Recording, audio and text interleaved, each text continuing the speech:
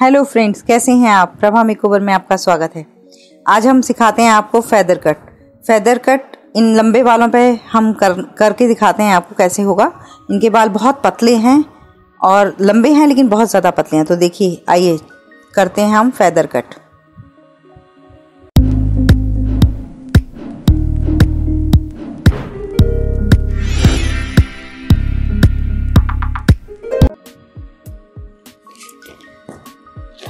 सबसे पहले हमेशा की तरह बालों को एकदम इक्वल लेना है हमने।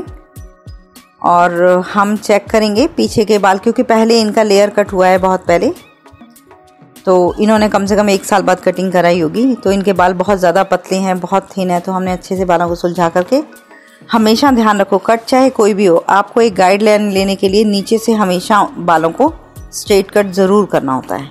तो उसी तरीके से हम मैंने बहुत अच्छे से सुलझा कर बालों को इक्वल किया है, अब आप देखिए। और इनको गाइडलाइन लेने के लिए बहुत कम क्वांटिटी जितनी कम, जितनी क्लाइंट बोलता है, उससे भी दो इंच आपको बहुत कम काटना है। अगर क्लाइंट ने आपको बोला है कि आप पाँच मतलब पाँच फिंगर के बराबर काट दो, लेकिन आपको उतने इंच नहीं काटना है, काटने हैं, बाल काटने हैं एक इंच अगर क्लाइंट कहता है पाँच इंच काटिए तो एक इंच बाल काटने हैं। क्योंकि जब हम पूरी फिनिशिंग देते हैं तो ऑलमोस्ट उतना ही बाल आ जाता है। मैंने जस्ट हल्का हल्का सा ट्रिम किया है। दोस्तों, दोनों साइड के बालों को बिल्कुल मिड पार्टिंग से हमेशा सेक्शन निकाल के अलग अलग कर लेंगे। अब इन बालों का हमने करना है फेदर कट फेदर कट में लेंथ बहुत कम होती है, लेकिन उसमें बहुत माइनर स्टेप भी होता है और आगे से हल्का सा लेयर कट भी होता है। जो हमारे बालों की लेंथ तो उतनी रखती है, पर हमारे बालों में थोड़ा बाउंस दे देता है। बहुत ही एक्स एक्सेस में बहुत ज़्यादा थिन हेयर है इनके।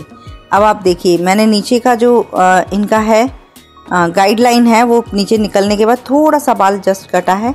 हम इस कट को जैसे हम स्टैप कट में या लेयर कट में लेते हैं इसी तरीके से तीन हिस्से में लेंगे। मतलब तीन बार हमने ये बाल लेने हैं। एक बार नीचे एक बार मिड में और एक बार फिर ऊपर एकदम जैसे क्राउन एरिया की सीध में। अब इन्हीं बालों में से थोड़ी सी गाइडलाइन लेंगे। जो हमारे पहले हमने काटे हैं, देखिए मैंने किस तरह से लिए और सेम इसी सिचुएशन में नीचे, देखिए किस तरीके से, बहुत पहली गाइडलाइन हमारी फिंगर में हमें पता चल जाता है लेने के बाद कि हमें यहाँ तक बाल को कट करना है। अब ये गाइडलाइन वही नीचे आ गई, उस गाइडलाइन को लेते हुए हम उसको कट करेंगे। ये कट बहुत पतला और बहुत बिल्कुल हल्का हल्का साथ साथ स्टेप आता है इसमें, क्योंकि हम इसमें अलग से सेक्शन निकाल के स्टेप नहीं करते हैं। तो इस तरीके से स्टेप करते हैं तो इजीली उसमें आ जाता है।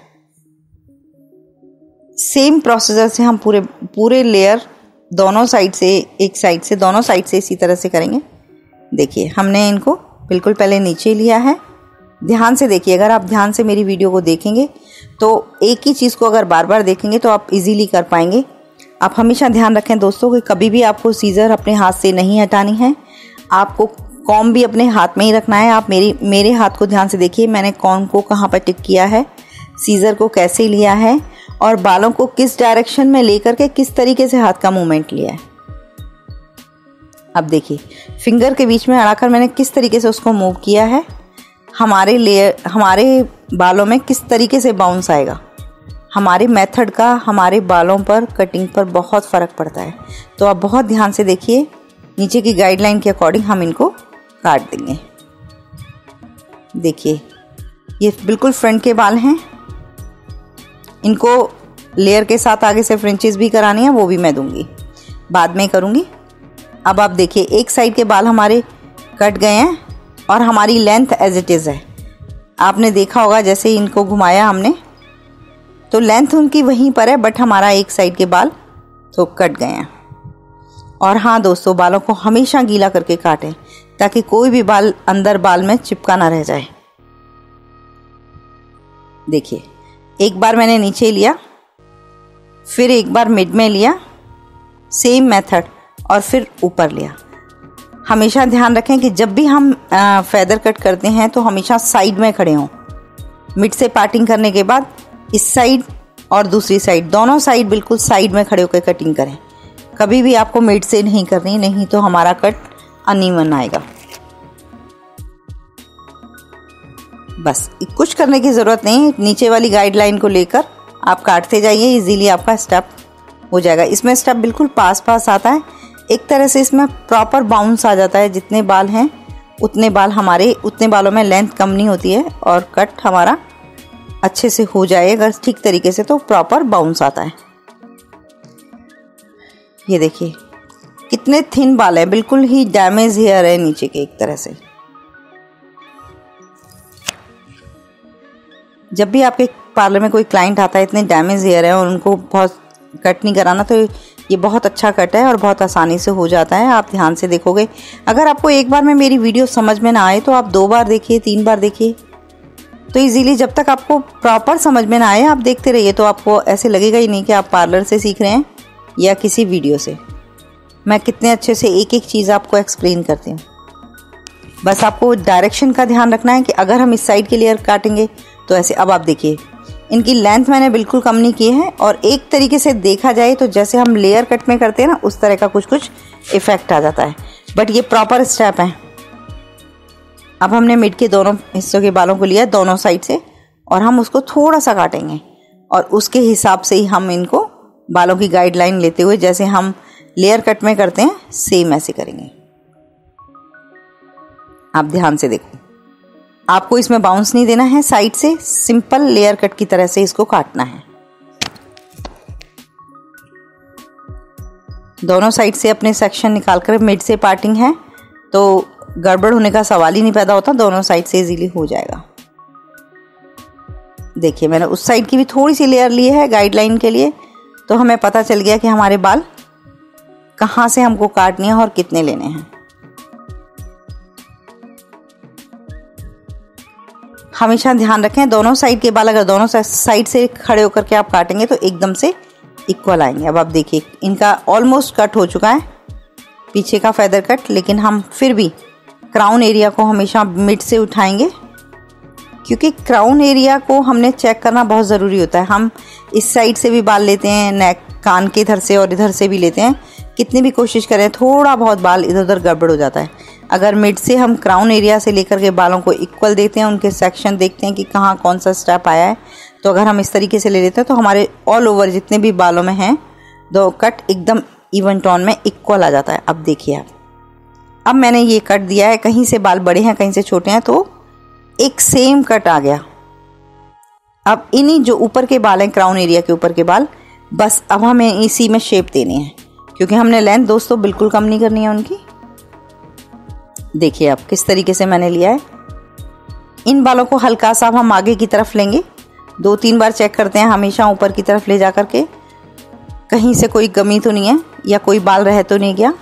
देखिए इस तरह से काटने के बाद अब इन्हीं बालों को हम आगे की तरफ़ लेंगे। ये देखिए, हम, मैं आपको आगे करके बालों को दिखा रही हूँ। हमने मिड लिया, अब हल्का सा हम आगे की तरफ़ बालों को लेंगे। ये ये देखिए। थोड़ा सा आगे की तरफ़, ताकि हमारा थोड़ा सा कट और आ जाए। जितना आगे हम लेते जाएँगे, हमारे स्टेप्स आते जाएँगे। और ये बिल्कुल पास पास स्टेप होते हैं। इसमें अगर हम स्ट्रेटनिंग करा लें तो लगेगा ही नहीं कि हमारा फैदर कट है। ऐसे लगेगा स्ट्रेट वी कट है।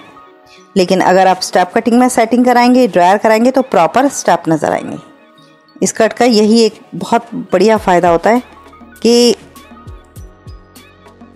दोनों तीनों कट एक तरह से एक कट में ही आ जाती हैं। देखिए।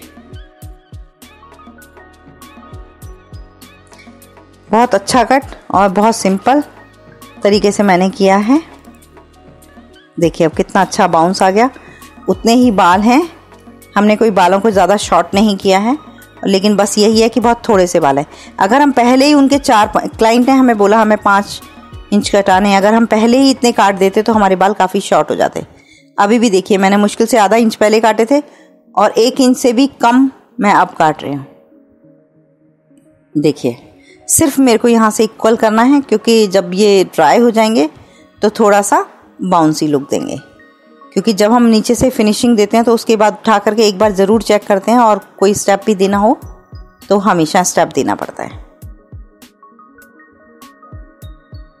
देखिए, बहुत आसानी से, बहुत अच्छे से आ गया।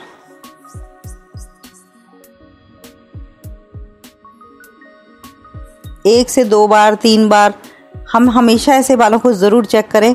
अगर हम पार्टिंग करके चेक करते हैं तो कोई दिक्कत नहीं आती दोनों जगह से इक्वल बाल आते हैं। ये ऐसा इसलिए करना पड़ता है, क्योंकि जब अगर हमने कभी भी ड्रायर नहीं किया तो भी हमारे बाल सुंदर लगे, क्योंकि रेगुलर और हमेशा कोई ड्रायर करके नहीं रह सकता। ऊँचे नीचे बालों को ड्रायर कर दो एक, एकदम से इक्वल हो जाते हैं देखिए अब अब इस कट को हम जो बैक साइड का कट है हल्का सा बड़ा था उसको हमने इसमें कट के साथ मर्च कर दिया तो हमारा कट वो ऊपर नीचे ज़्यादा नहीं लगेगा एकदम मर्च किए हुए आएँगे।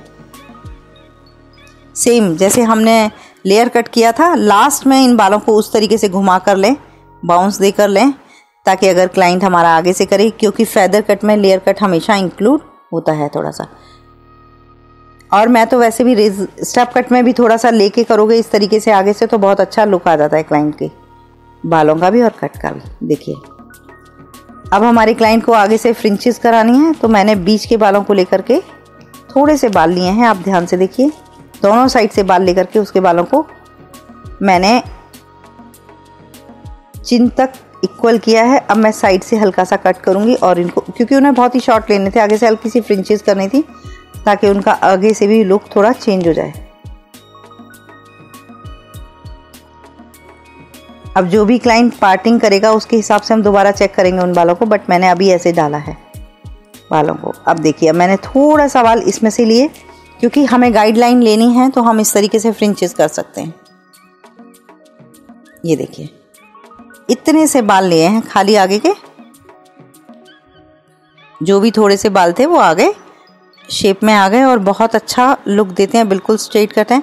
लेकिन ये ये बाउंस देकर कट किया है मैंने। देखिए।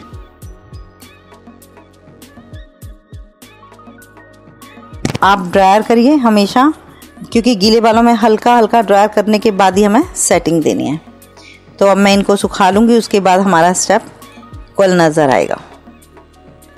देखिए, ये इनका फिनिश लुक है। लगभग कटिंग इनका प्रॉपर हो चुका है। ज़्यादा कहीं गड़बड़ नहीं है। आगे से अगर हमें चेक करना है तो हम लेयर कट की तरह दोबारा चेक कर लेते हैं एक बार कि कहाँ कोई गड़बड़ तो नहीं रह गई है। ये देखिए। तो हल्का सा भी कोई बाल है, क्योंकि हमने फ्रिंचेस बाद में किए हैं। तो थोड़ा सा फ्रिंचेस के साथ उसको मर्ज करना बहुत ज़रूरी है। देखिए, वो बहुत कम बाल होते हैं, जिनको ले करके हम करेंगे सेम इसी तरीके से। बहुत थिन हेयर हैं तो उसी उसी के अकॉर्डिंग हमने थोड़ा सा आगे से शेप दिया है। देखिए इस तरह से। इसमें ज़्यादा कुछ करने की ज़रूरत नहीं है, बस पास पास में स्टेप लेने हैं, इसको हम बोलते हैं फैदर कट और ये बहुत ज़्यादा इन है आजकल, क्योंकि लोगों को अपनी लेंथ भी कम नहीं करनी और उनको स्टाइल भी चाहिए। तो हम इसके इस कटिंग के ज़रिए उनको स्टाइल दे सकते हैं। कट लगभग वही होते हैं। लोगों ने उनके नाम चेंज कर दिए हैं कि हम लेयर कट है रेज़र कट है रिवर्स कट है। पर आपको उसी तरीके से थोड़ा करना है। इसमें एक रिवर्स कट भी होता है जो आगे से बिल्कुल, आगे से बहुत हैवी है, मेरे को मौका मिलेगा। और तो मैं आपके लिए वो वीडियो भी लेकर आऊँगी किसी दिन। तो आप वो कटिंग भी अच्छे से सीखिएगा, आपको समझ आ जाएगी एक बार में। बस, मैंने बोला ना, हमें कई बार चेक करना पड़ता है, कहीं कोई गड़बड़ तो नहीं। अब हमने आगे से लेयर दी, इसलिए मैंने दोबारा से चेक किया। देखिए।